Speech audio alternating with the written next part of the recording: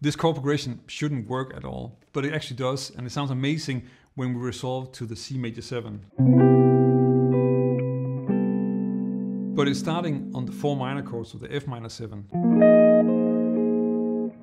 Going to the B flat 7, and then to a more peculiar E flat minor 7 with an 11. And then from there to A flat 7. And the whole thing sounds like this.